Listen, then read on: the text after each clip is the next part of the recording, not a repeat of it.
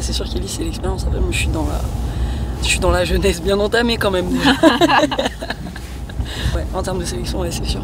On est à 3 contre 186. euh, c'est pas mal. Ouais, elle sait mieux que moi d'ailleurs. Non, c'est parce que j'étais en coloc avec elle, il fallait que je me renseigne un minimum.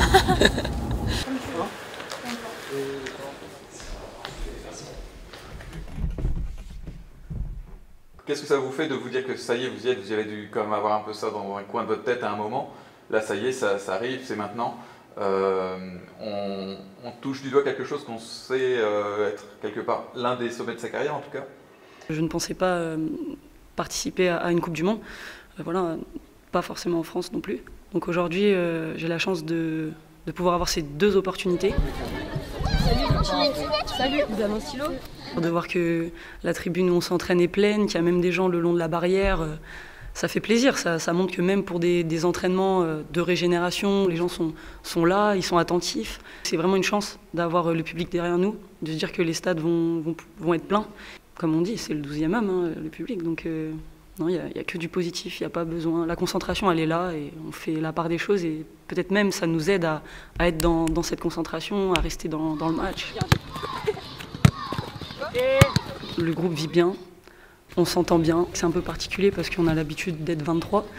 Euh, maintenant, là, on est 14 et euh, voilà, ça nous permet de, resserrer encore un peu plus les liens parce que peut-être que finalement, on parle encore un peu plus à d'autres, enfin à tout le monde. On a la possibilité de parler vraiment à tout le monde. Donc c'est aussi intéressant. Voilà, maintenant, euh, il nous manque quand même euh, des filles qu'on apprécie.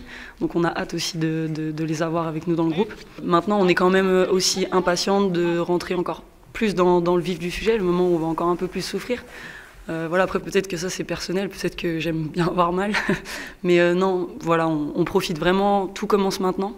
Mais voilà, on est aussi impatiente de, de toutes se retrouver. Et puis dès la semaine prochaine, par exemple, d'avoir encore plus d'intensité. C'est très important de, voilà, de se faire mal aujourd'hui et lors d'une préparation.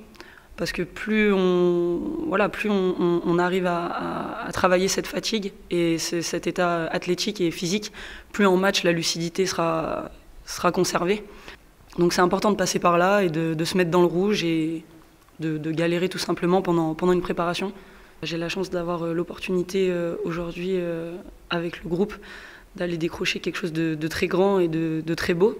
On sait euh, quels sont les ingrédients nécessaires pour tout cela. Et c'est ce que je vais en tout cas euh, tâcher de, faire. Je suis prête à monter d'un cran.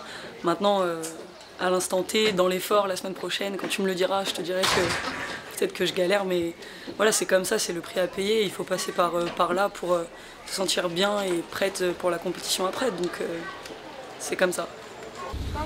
Oui, avec bus. Bus dans bus. Sorry.